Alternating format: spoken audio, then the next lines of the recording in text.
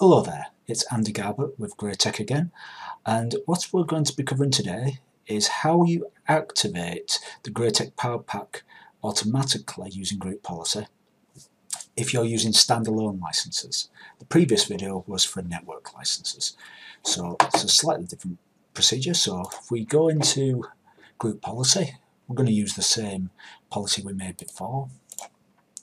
Again just for example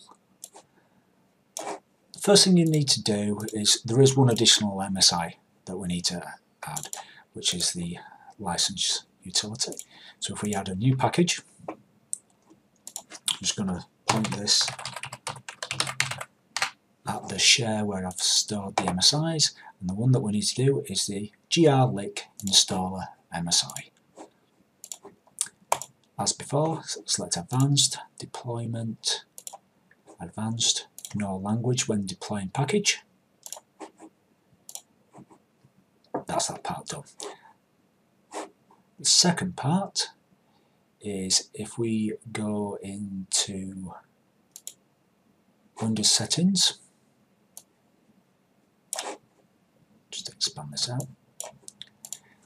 There's a startup and uh, well, it's a startup script that you put in the startup shutdown section. So if you double click on startup, I've actually got mine selected here, but if you didn't have that already in, what you would do is you'd go add, browse. This this folder would be unique each time, so you would you'd take a script that you'd got from Graitec prior to this and just uh, copy it over into that folder. Select it. Okay. Okay. Apply. Okay. And that's all there is to it. Um, as with any group policy again, you're going to have to run a GP update and let the machine reboot, especially with it being a startup script.